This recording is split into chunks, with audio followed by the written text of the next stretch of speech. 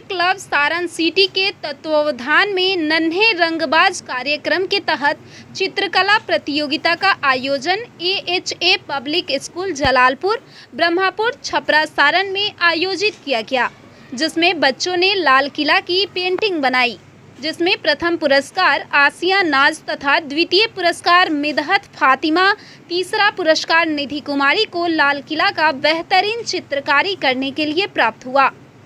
वहीं सांत्वना पुरस्कार सात बच्चों को बेहतर कलाकृति करने के लिए पुरस्कृत किया गया। पुरस्कार वितरित करते हुए मुख्य अतिथि पीडीआरआर श्याम बिहारी अग्रवाल ने कहा, बच्चों को पढ़ाई के साथ साथ विभिन्न प्रतिस्पर्धाओं में भी भाग लेना चाहिए, जिससे बच्चों में बौद्धिक विकास के साथ साथ शारीरिक तथा मानसिक विकास होता है। जो बच्चे पुरस्कृत नहीं हुए हैं, उन्हें हताश होने की ज़रूरत नहीं है। अगली प्रतियोगिता की तैयारी और मेहनत से मन लगा कर करें, वो भी सफल होंगे। इस अवसर पर पीडीआरआर श्याम बिहारी अग्रवाल, कार्यक्रम संयोजक गुलाम जिलानी, सचिव अवध बिहारी प्रसाद, कोषाध्यक्ष सैनिक कुमार, मंडल क्लब सर्विस निदेशक निकुंज कुमार आदि ने पुरस्कार वितरित किया।